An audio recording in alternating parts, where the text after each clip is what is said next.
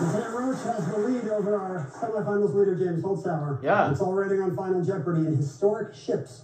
Here's the Roach actually dominates. Wow. This 16th century ship got its name from the crest of patron Christopher Hatton, which featured a deer. 30 seconds, Masters. Good luck. Ah, by history again. If James finishes second place, he would advance to the finals because Andrew He cannot catch him uh, because he already lost to James earlier tonight. Yeah. My top three advances. Uh, where's uh, I have no. I hate history. So that means I will be all for 14. Yeah. We'll begin with Andrew He, who had 6,400 points in third place.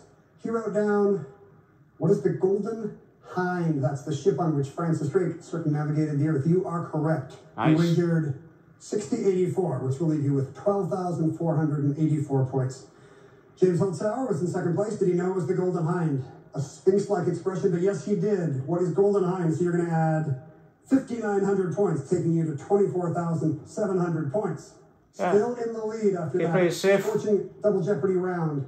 Did they know it was the Golden Hind? Oh. Hartford. No, and the wager? 10,800. Oh, my goodness. 999. Good for second place on one James point. wins again with luck. From uh, And he advances to the finals automatically. Yeah. Three match points in our second semifinal game of the night. Congratulations.